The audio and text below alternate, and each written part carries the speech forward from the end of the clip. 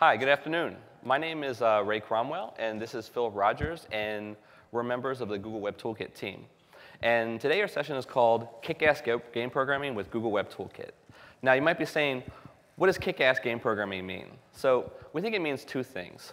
The first is that the kind of games that you'll be able to produce using some of the tools we're going to show you today are not kind of like HTML5 toys or prototypes or kind of like hobby curiosities, but they'll be real games that um, will be fun to play and that people will be willing to pay for. And the second thing is, is that by using some of the tools, you'll get such a boost in productivity that you'll feel that just the programming itself kicks ass.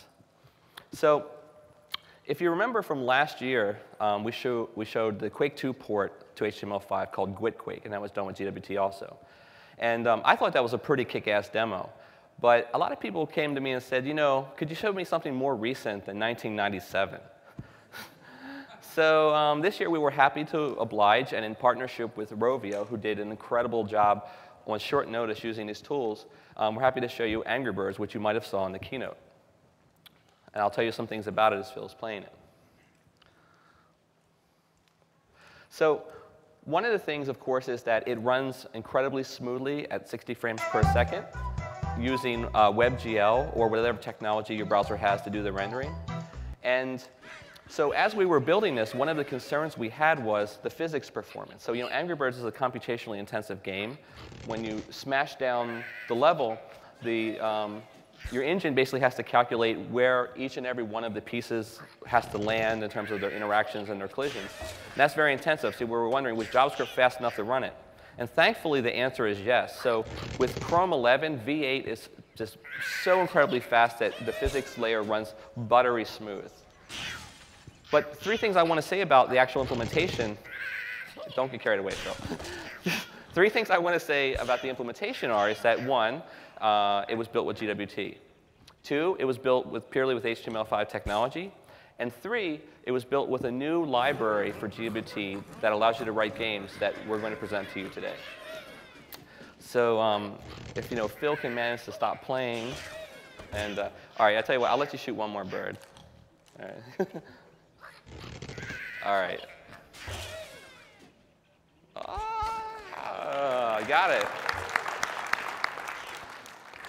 So the question some people might have is why GWT? What is GWT going to do for you?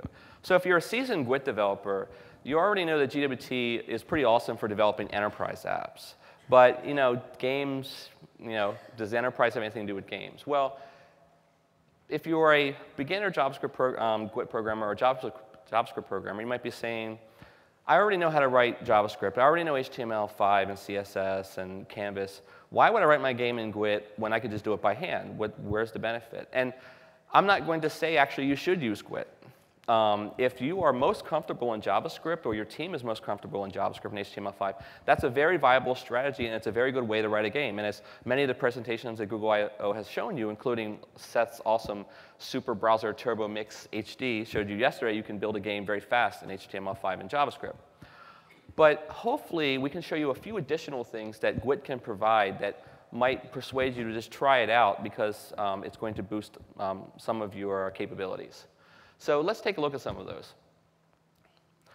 First, um, it lets you leverage a familiar Java toolchain. So if you're a Java programmer already, and you like Java IDEs, you like Eclipse or IntelliJ, you like your debug environment, you like your build system, you like your testing framework, um, you're going to get all of that. Plus, you can leverage a lot of libraries that are already out there in the ecosystem, like physics libraries, AI libraries, image processing libraries, and so on, without having to do much work. So you sort of get to leverage stuff, work that people have already done.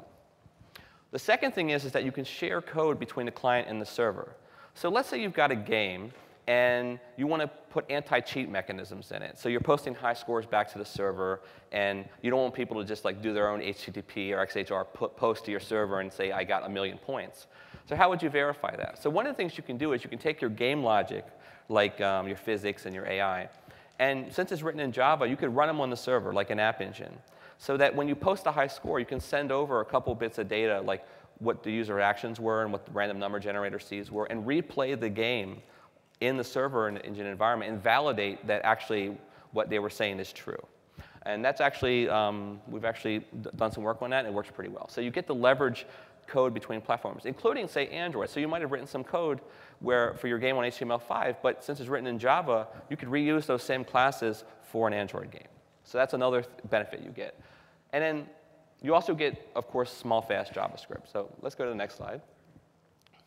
so as an example of leveraging familiar tools, you might be familiar with Box2D. It was originally a C++ library to emulate rigid body 2D physics. And I don't know what the actual statistics are, but probably 90% of all the top games in the iPhone store are written using Box2D, including like Angry Birds. So it's very, very popular for doing game engines. Um, now, some guys actually went out and they ported it to Java, and it's called JBox2D. And that's been around for a while, but I don't know very many people who are using it. And that actually helped us out a lot because a couple of guys at Google saw that library, and in just 30 minutes, they were able to port it and optimize it to run efficiently in V8 inside the browser with GWT. So that demonstrates the ability to leverage the existing ecosystem very effectively with GWT, and also to leverage um, code sharing because it was originally written in Java for a, whole other platform, and we were able to repurpose it. So just to sort of um, say a few things about the GWT compiler, which actually I happen to work on.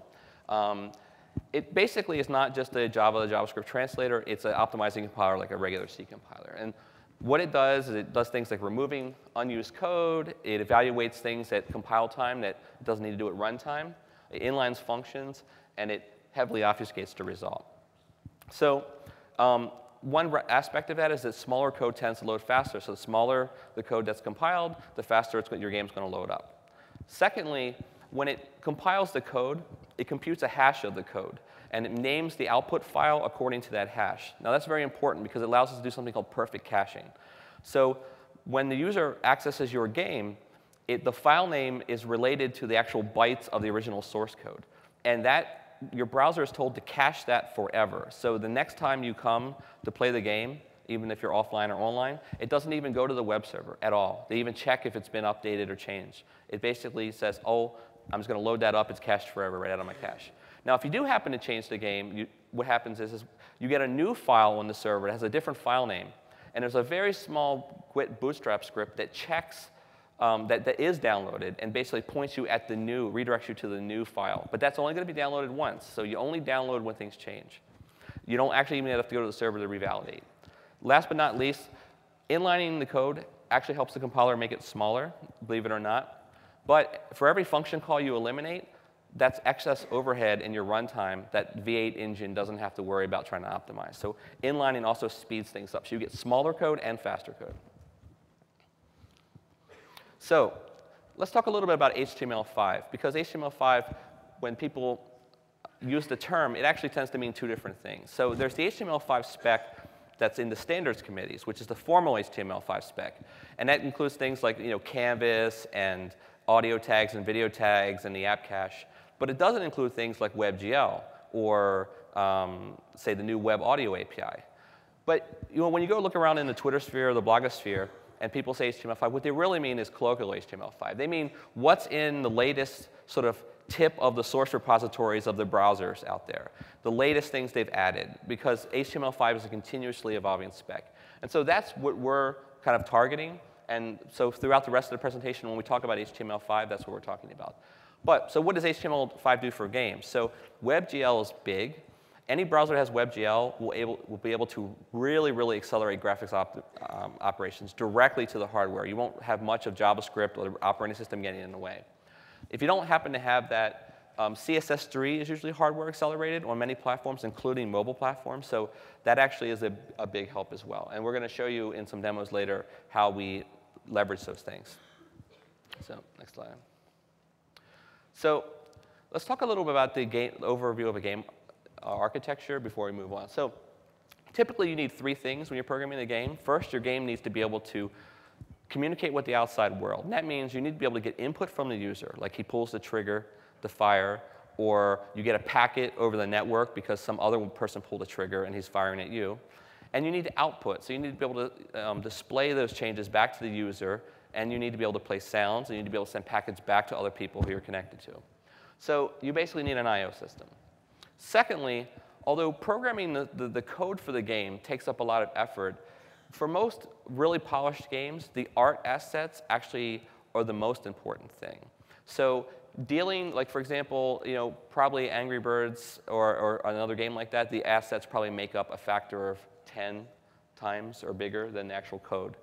So being able to load those assets efficiently and cache them offline um, and load them in the right order so you can get the person playing as soon as possible is very important. So asset management is important. And then third is the game loop. So most games have like an internal clock that's usually key to the um, frame rate or the vertical sync period. And what happens is that every tick of that clock, three things happen.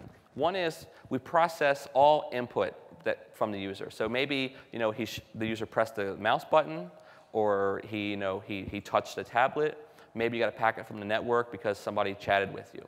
So you need to take those inputs and then feed them into the next stage, which is to update the state of the world based on those inputs. And that usually um, takes into account things like running physics simulations, running AI, um, running game logic, like updating the scoreboard because someone got a kill, things like that. And then finally, after you've updated the state of the world, you need to communicate the state of the world back to the user. And that means rendering graphics, that means rendering um, audio, and sending packets back out to other players.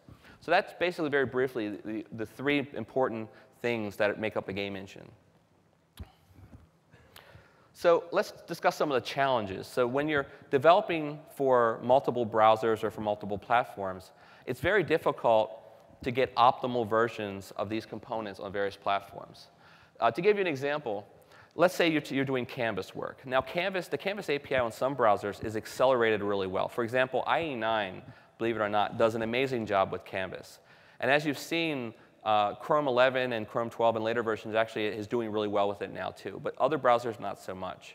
So the problem is, is if you program directly to Canvas, you never know which particular draw call you're making is going to be the accelerated path or which is going to be the slow path.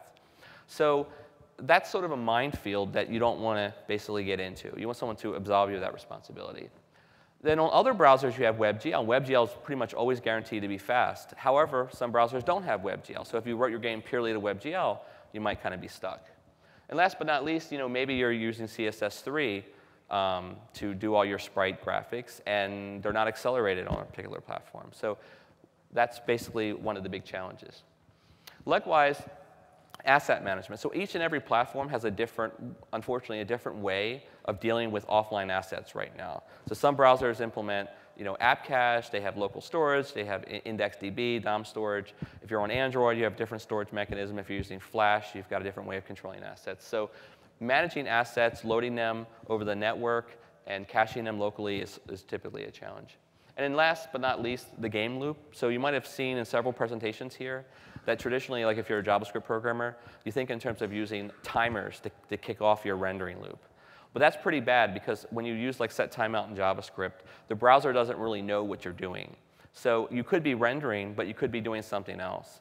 And that's unfortunate because if you're in a different tab, uh, or, the, or the window is minimized, the browser is just going to keep firing that timer and doing tons of work. And it's going to chew your battery life and it's going to heat up your machine. So different platforms have different ways of syncing with the vertical blanking period or the redraw period of the, of the platform. So in the newer versions of browsers, you have this request animation frame in colloquial HTML5 that sort of takes care of that for you. But if you're deploying to like Flash, it's different. And if you're deploying to like Android, it's different. So that's basically another challenge is basically syncing, syncing video and timing events on different platforms. So basically, I'm going to hand it over to Phil right now, and he's actually going to describe how we solve some of those problems with GWT and the new library we're introducing. Cool, thanks. So uh, to answer these questions, the abstraction is key. Um, you may remember that GWT abstracts away the differences between browsers, such as Firefox 4 or IE9.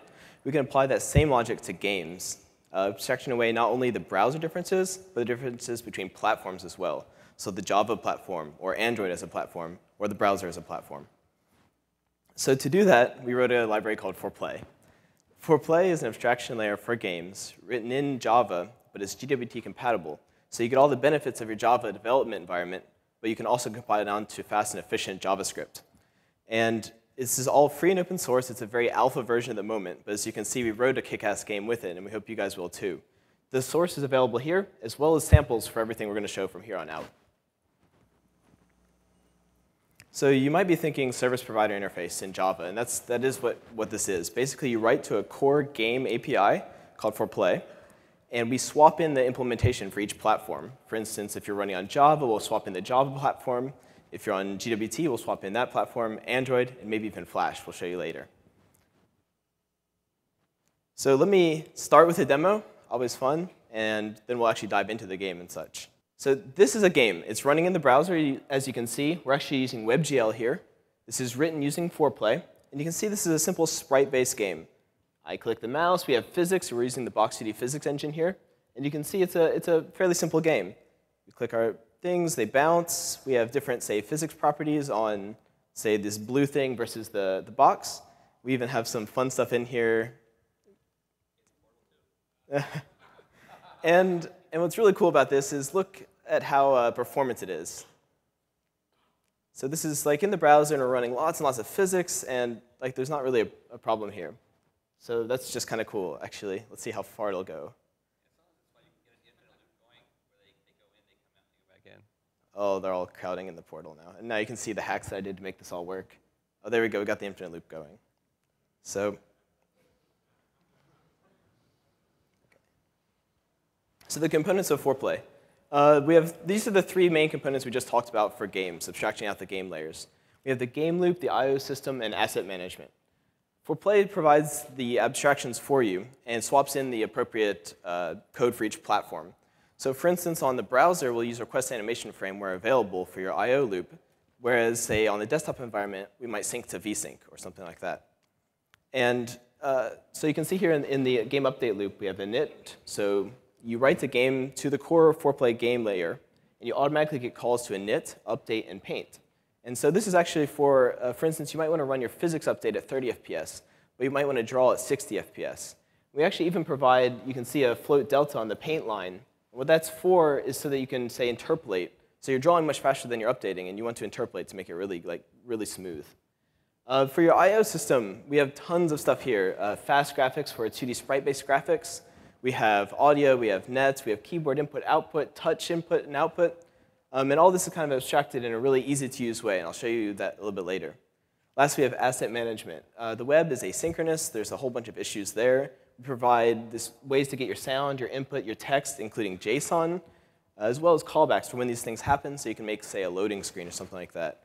And ForPlay provides the, the magic that happens to swap in the correct platform that you're running on. So you really write to one API, and you get you write very little, actually one line of code or one, maybe five lines of code per platform, and you get swapped in the correct one. I'll show you a little bit later. So this is, this is kind of the beginning of a game. This is a my game, we'll call it. And this is how you would write to the ForPlay API. We simply implement the game interface, and we have a init, update, and paint. And like I said before, these just get called for you once you start your game. Me go to the next slide and show you the interpolation code. So again, you're, say, drawing at 60 FPS, but you're only running at 30 on your physics update loop. And this is where, this is how you could, for instance, interpolate in a 2D game. And you can see here we have interpolation code. It's fairly trivial. init is usually where you'd load your resources, and the update loop is usually where you'd process the I/O and basically update your physics layer or run your AI, and then the paint is basically where you redisplay everything. Oh yes, that's right. Sorry. Actually, we'll show you in more detail. Actually, uh, I can show you the source of the p-physics game. So um, input devices, this is kind of the, the basics of how you would start writing your game. This is the same my game, implementing game, but now we've added pointer and keyboard. You can see we automatically get callbacks into on, on pointer move, or on pointer scroll, or on key down. And ForPlay handles the fact that you're kind of running asynchronous code sometimes on some platforms. So you're not going to get these callbacks in while you're doing your physics update loop or in your paint loop. It's all going to be spliced correctly.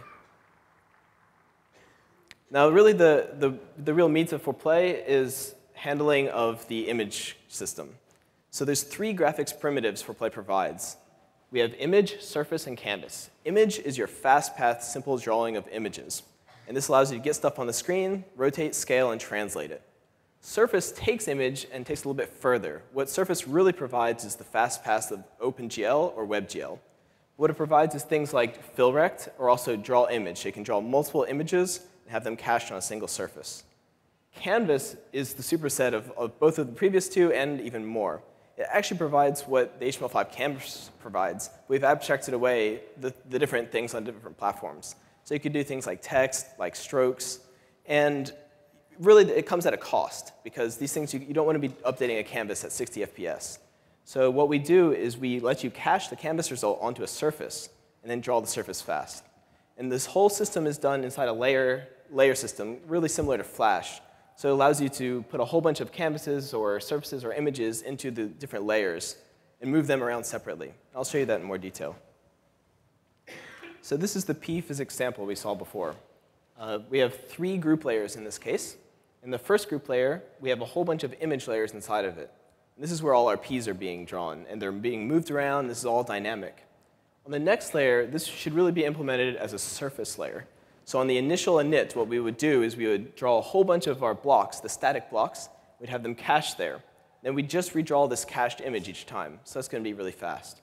Lastly, we have just a simple image behind the whole thing. That's just being drawn by itself. So this is the asset management. You'd really want to do this in your init cycle, like Ray was saying. And what you're doing is, this is the simple example of how to load an image. So you just simply say image. You ask the asset manager for it. And if you want, you can get a callback as well once it's done loading. And so this is kind of the simple way to do it. You can also have like a loading screen. For instance, Rovio did this with Angry Birds.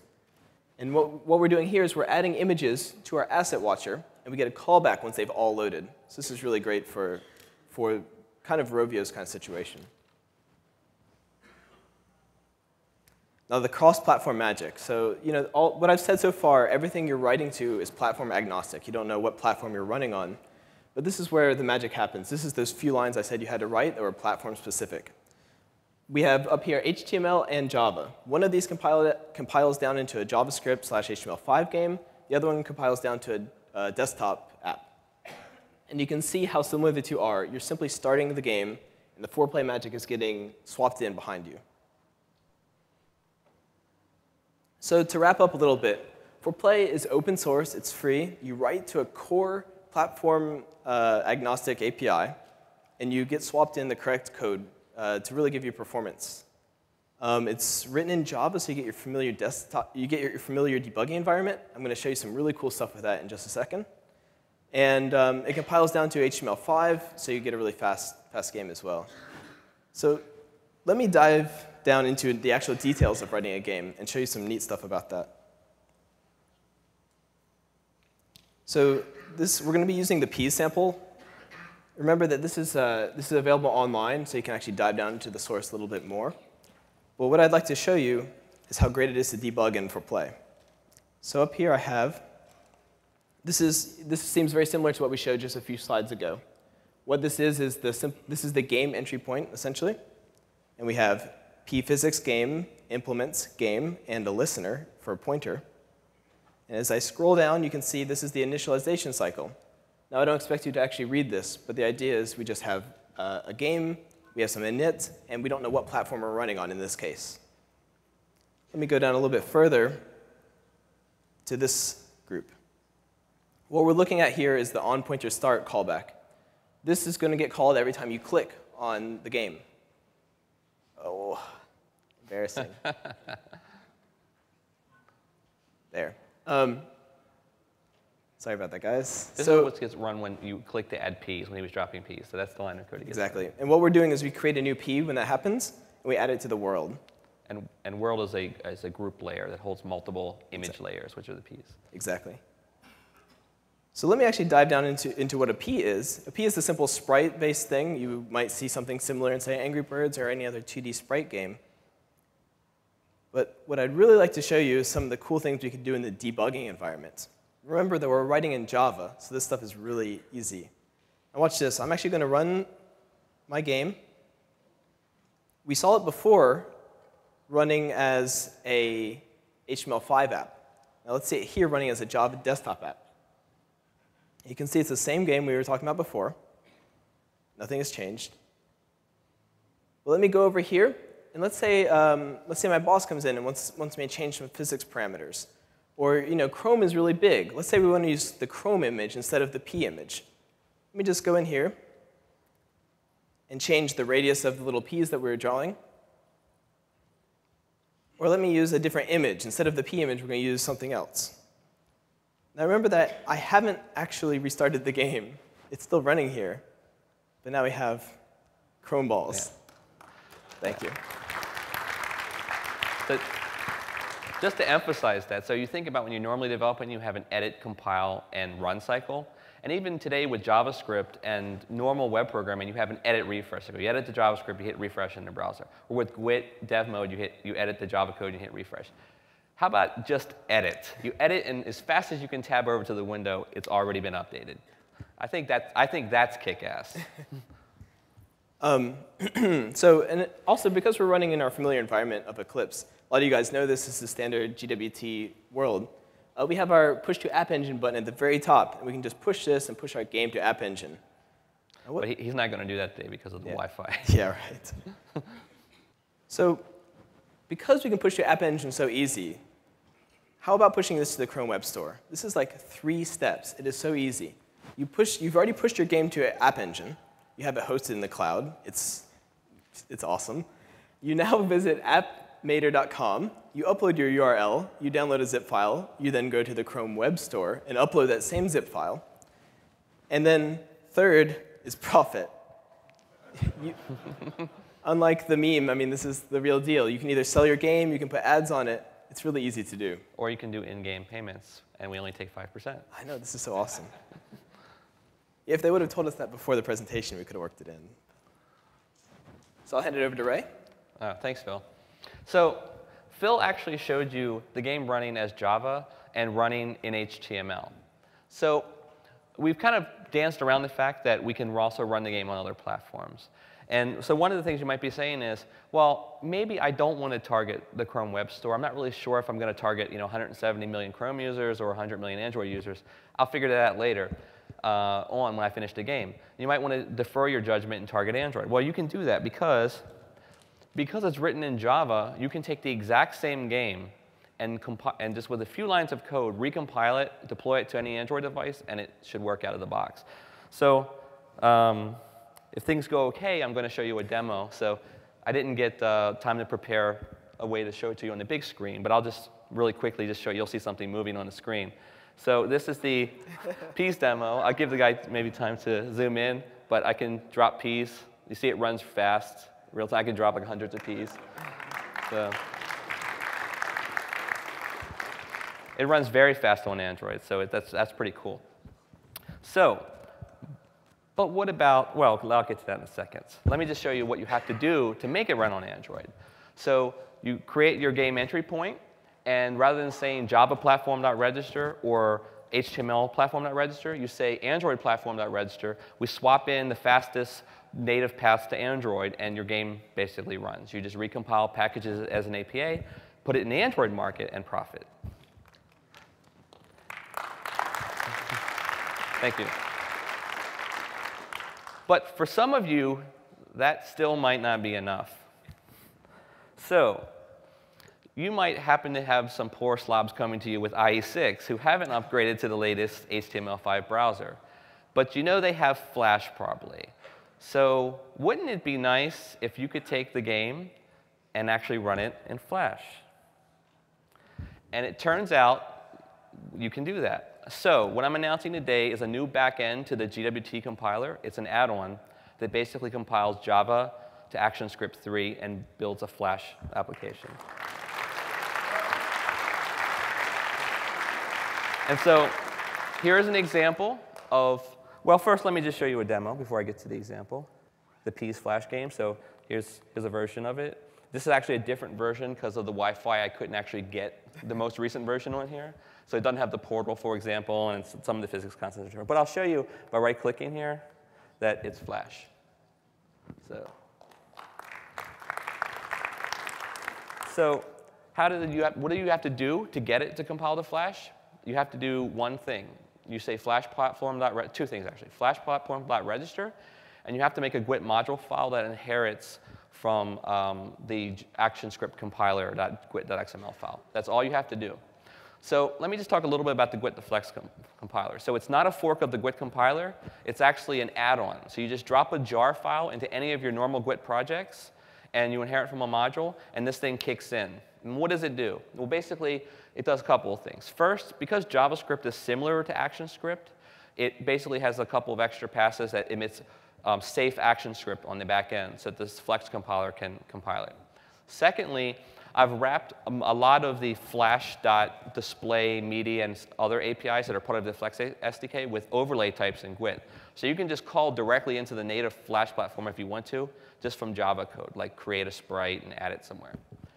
So you don't have to use ForPlay. Actually, you can just write a, a, a Flash-only app if you want, a Flex app. And then third, it has a specialized set of linkers on the back end that package up ActionScript resources and run the Flash compiler. And later on, actually, they'll use swfmill to do asset packaging. So it will package your, your other images and artworks directly into the SWF file um, for you.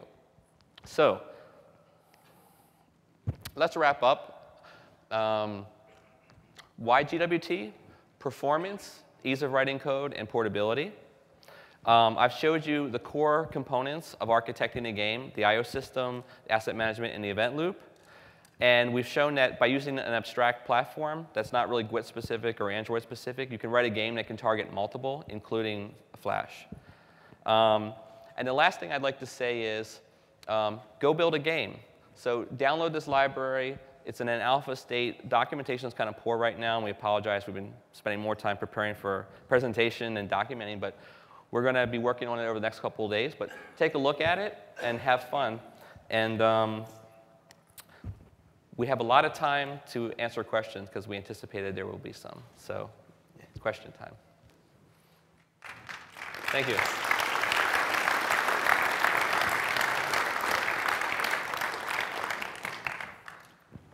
Hi. Um, so is there like the equivalent of JSNI for the Flash backend? so can we write native ActionScript to interface between the Java world and the? Would, would that would that be ASNI script? Sorry. So um, yes, and, and in fact, that's how the ForPlay library is written. So there is a whole bunch of JSNI classes that are already there for you to access like flash.display, flash.events, flash.net, um, flash.media. So I've covered sort of the minimal set of Flash APIs already that you want to call into for the game. But if you download the source code, you're welcome to actually write your own JSNI right, classes. And, and, is the source for that available as well for that backend? Is that out on the same website? Yes. Uh, they actually parallel, and it's, real, it's, it's, really easy to find. You'll just see a source directory, and it'll be like flash slash net, flash slash display. So they exactly parallel the uh, Flash APIs. Cool, great, thanks. By the way, I think I might not have checked in the jar file for the Flash compiler yet. so if, don't be disappointed. After the session, I'll go make sure the website has everything. Uh, go ahead. Uh, you mentioned that uh, you've abstracted the I.O. for the uh, uh, drawings and the con uh, control input, but what about stuff like for networking, for multiplayer? good question. So actually, we have a um, forplay.net class that abstracts the network as well as, so it doesn't do WebSockets yet, but it abstracts asynchronous push-pull response requests, and it even extracts, um, abstracts JSON across multiple platforms. So you can fetch, for example, the level data to load um, uh, the piece level is as a JSON file, and there's a parser on Android, there's one on Flash, and there's one on HTML5 and Java. Yeah, to take that a step further, the, this cross-platform JSON parser is really useful, for instance, for sprite sheets. And I think that Rovio used that for Angry Birds. Uh, you essentially have one single image, and you have different little sprite sheets on it, and ForPlay is really good at that stuff. Does this use uh, 2.3 or does it require 2.4 beta? It uses 2.3, well, I built it with 2.3.3, um, so it should, should work on there, but um, I haven't tested on 3.0 yet. Hopefully it works there. okay. 2.4. Oh, you were asking about GWT. Uh, I thought you were talking about Android. Uh, yeah, no, it, it, works on 2.3. It works on The 2.3. answer is yes. It just so happens that I have 2.3 on my phone. so, hi. Um, how's the performance compared uh, from the HTML version versus the Java or Android version? And have you tested on other branded uh, mobile operating systems? Uh, good question. So the performance for desktop Java, for Android, and for HTML5 browsers, at least the ones that we all like, uh, is actually very good, as you saw with Angry Birds. The performance in Flash of executing uh, the, the code in Flash is not quite as good as V8. Um, so the Flash VM is not quite as good as V8, but it's also because the code that I'm generating now, the GWT compiler, is not optimal yet for Flash. So uh, I generate typeless ActionScript 3, and so I'm not giving the Flash VM uh, the, op the opportunity to do more optimization. So later revisions of the Flash compiler will probably produce more optimal code. But it, in my testing, it actually runs well enough to do a game on Flash as well.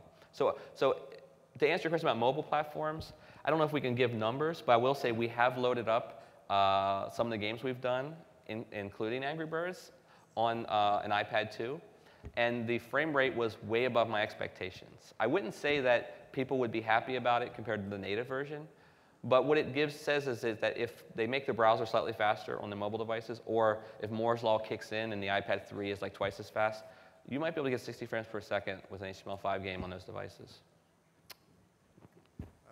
Yeah, you kind of just answered my question about the Flash player uh, speed. I wonder if you could elaborate that on any, you know, any more sort of what things you might plan for that, or if that was just an example. Or... Yeah, so um, there are a couple of things that we're not doing that we could do. So one is we don't, we don't generate um, um, types.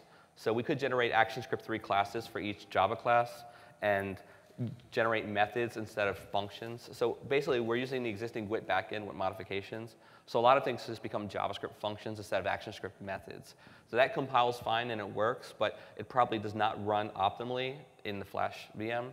But um, that's the next step. That's, so the next to do for me is to make the compiler generate much more optimal ActionScript 3 code. How about size-wise? How about size-wise? Does it make a fairly large SWF, or do you have uh, any way of making modules or uh, RSLs it, or anything? So it, it actually makes it makes actually a pretty small SWF. I believe the Peas game was about 58k, and there's some packaged resources in there, but it, it could it could be better. Um, GWT, you know, has code splitting capability, and um, we could use that to leverage by splitting an application across multiple SWFs and loading them in on demand, but we haven't investigated that yet. That's a good question. Go ahead. So I apologize if this has been covered already, but uh, so does the ForPlay API cover audio at, at all? Yes, it has. Point. Yeah. Okay. So uh, yes, it had, but it covers very primitive audio because when we started, uh, we knew we had to target basically what was enabled in Chrome 11, which is the regular audio tag which is basically just based on streaming basic audio. Um, so basically, yes, on Flash, it will use the Flash Sound APIs to play the audio. On HTML5, it will use the audio tag, or it will use a, a Sound Manager 2 Flash library to do it. Or on Android, it will use a native Sound API. So Sound is supported, but it's very, it's very basic. You can play um, OGG or MP3 or WAV files on cue, but you can't do much manipulation. But that, that will change. Right. Thank you. Yep. Kind of wondering what your support is for binary data over the wire when it comes to AMF, if you're sending it to BlazeDS or protocol buffers or something else. You talked about JSON, but I don't know if you had any right. experience dealing with mapping ActionScript objects to POJOs and code generating that in JSON. Yeah, so we haven't added any support yet because we kind of wanted, we took a least common denominator support for that. So you can fetch known binary assets like um, media assets, right, as binary. And that works because it basically translates directly to the Flash um, loader API or URL loader. But um, if you just want to load up an arbitrary binary file, we don't really support that because it, until very recently, it was slow in HTML5 to load large bi scale binary objects. But that's changing now. There's the typed array spec, and there's, there's a couple of other APIs for doing it. So that will probably be added later. Thank you. Hey, what are you doing here? Who let this guy in? I have a question. So actually, like, how do you guys simulate the event loop in in JavaScript on the web platform? Because it's just I don't know. Do you use, do you use timeouts? I'm just curious. Okay, so for the browser, if your browser supports request animation frame, we use that. And what happens is the browser will, when it's drawing, so if you're actually focused the tab and it's on the screen, it's visible, when it's drawing 60 times a second, it will call you basically on a schedule. Uh, if your browser doesn't have it, then we'll fall back to set timeout or set interval. Um, obviously not as efficient. So it, we basically take as an efficient as path as we can. And on Android, of course, we use multiple threads and looper um, and handler objects to basically you know, have everything run in one thread, and then we post messages to it with events. And what this means is for something like Peas, your physics actually runs in the background using set timeouts. But your, fit, your, your drawing, your paint update loop doesn't run Yeah. at all. Actually, it's interesting on Android because Android supports multiple threads, unlike the browser. Um, you actually get a little bit of a boost because you can run the physics and stuff in the background, and you can run the, the paint loop in a different thread, which is pretty cool. Thanks. This, Is this is the new Flash backend going to become a part of GWT, or is it going to is it going to just be part of ForPlay? Is it going to be like a, can, will it be supported for non-game use? I guess in the Ah, big scheme of things. So uh, this is not an official Google project. This is kind of like the personal pet project of a bunch of people who have like an itch to scratch. But uh, so we'll be part of ForPlay, and um, uh, going forward, um, we will be supporting it because we're going to be using it for multiple things. So you don't need to use it by ga- for games actually. So if you wanted to build a traditional enterprise Flex app, but you wanted to use Java to do it and Eclipse, you could actually use the, the Flash compiler to do it because we expose most of the Flex APIs and it's easy to expose more with regular GWT JSNI methods. And you could, you could theoretically build a Flex, a Flex ML you know, a- application. But you don't intend to fold it back into mainline GWT. It's going to remain a separate project. I, don't, I don't think Google would support something called ForPlay. yes. I, I meant more the, the Flash backend. That's not going to that's not going to find its way back into mainline GWT. No, this is actually one of the first times, because uh, the, the compiler does have sort of hooks for attaching other backends. And this is sort of the first real ever like add-on backend that's been made public. And there are other ones in the pipeline. So uh, it's possible like there might be a separate website, like an incubator, where we drop these things in the future. Thanks. Hi, I was wondering if you could clarify how ForPlay development compares to or, you know, interacts with sort of normal GWT development. So, you know, would it be possible to sort of build your game Chrome, you know, your menus and your launch screens and everything in sort of normal GWT and then have sort of the play area be in ForPlay? Or is it really expected to be an entirely ForPlay canvas-based thing? Sure, I can kind of answer this. It's kind of twofold. One is ForPlay allows you to call out into the browser if you want to. So in this, with this mechanism, um, you can definitely write it in the standard GWT way. But the core of ForPlay, like writing, writing a game to that to the ForPlay game layer, is you're really writing in pure Java, and GWT is kind of a side issue. Um, so Yes, ForPlay development is actually not really GWT development, but I, there's a caveat to that. You can actually mash it up with any arbitrary GWT app. So for example, I believe, correct me if I'm wrong, but Angry Birds actually, like the, the, some of the buttons Yeah. surrounding it, like the switching between HD and SD versions, there are other things around the actual game that are actually done as you would normally expect in a GWT app. Okay, and then when you, you talk about cross-platform support, and that, but that applies really to just the um, sort of game area part of the game, the ForPlay part of the game is what, and so you Yes, redo I'm- your Chrome on each platform. That's right. In theory, somebody could create like a widget library that's abstract like a, a, a list interface and a tree interface and so on, and map those onto like Android widgets and onto GWT widgets, and that would work. Um, we kind of hope actually by making it open source, people might do those sort of things, sort of build things on top. Um, actually, one of the other things is that there are people in the audience who are experts on like asset pipelines in games. One of the things we actually need is is um, ForPlay's asset management is very basic, and for importing things like SVG or Collada models and things like that and meshes, it would be cool if people sort of built tools to sort of assist in that part, tying into the rest of our pipeline. There you go. Thank you. Hi again. Uh, we just tried uh, to enter uh, the Chrome Angry Birds, Uh-huh. and it asked for Flash. It's it compiled in Flash. No, No. it's not. Um, but what it is doing is, is that if you- um, it's using it for audio to play sounds. So we originally were using the built-in HTML5 audio tag to play audio, but we ran into some hiccups at the last minute, and I believe those are being fixed in newer versions of the browser. But in order to make sure that the game was smooth and had and basically was as bug-free as possible, we, we used Flash for the audio for now. But so that's not a sort of a, a knock against HTML5 audio. It's just that there were some problems, and we wanted to make sure that the game ran perfectly. So for multiple platforms, how do you handle like in-app purchases and uh, advertising? So there's callouts into the browser. Um, like I said, for instance, in, in uh, Angry Birds, what Rovio did was uh, when you click, I think, some of the buttons in the game um, that you're basically calling out into the browser, you do the same thing for, the, for your in-app payments or whatever. Um, in terms of architecting it, you basically, you're, you have several entry points for each platform that I showed, those small snippets. Um, you can basically stick that kind of code in, into the platform-specific entry point and call into it in that, in that manner. But to be more specific, there's no high-level service provider API in there, there for that, but that would be a nice thing to add in like the beta version Uh, so that, like, you know, if you're on an Android app, it uses the Android in-app purchase, and if you're on Chrome, it does that. So that's a great idea. And uh, actually, so anybody who doesn't want to contribute code, you can actually just go to the issue tracker and put in what you want, and you know, maybe somebody will pick it up. Cool. I think that's it. No more questions?